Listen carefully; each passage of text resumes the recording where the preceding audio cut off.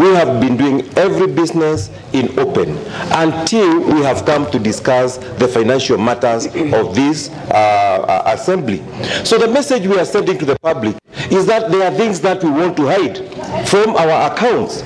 MPs objecting to the Pan African Parliament Bureau decision to close proceedings during presentation of Parliament audit and public accounts. Which rule did the Bureau use to decide that this is a closed session and what is the reasoning behind it? I think that we are entitled to an explanation. But they were overruled.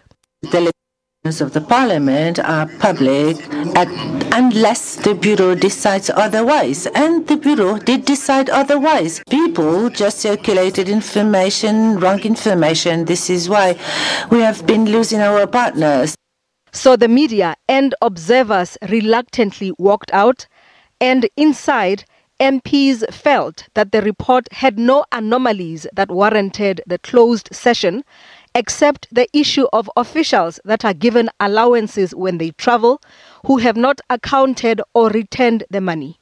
There are some officials that owe money, and it has been going on for quite some time because the same issue was raised last year.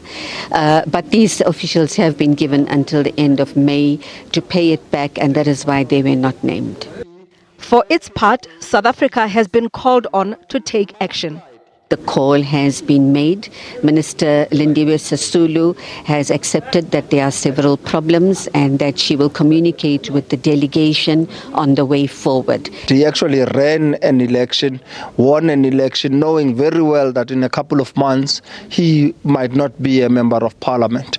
As a, a result, uh, they are having uh, elections uh, back in Cameroon. Uh, it would be uh, questionable as to what real impact will that have on uh, the financial implications?